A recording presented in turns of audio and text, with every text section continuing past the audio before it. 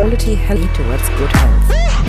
MediTours. people travel for their healthcare and wellness. So it's a combination of travel and tourism and healthcare. Try and look at what you bring to the world and what are you putting out out there. Try to be more cautious in what your communications are, in what your actions are, and what your reactions are.